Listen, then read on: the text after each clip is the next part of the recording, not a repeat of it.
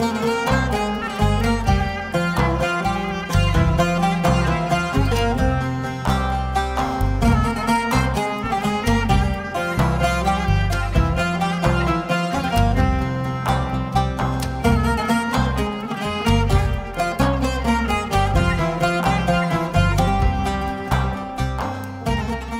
طبعا من اهداف اقامه البرنامج هذا اخراج الاكلات الشعبيه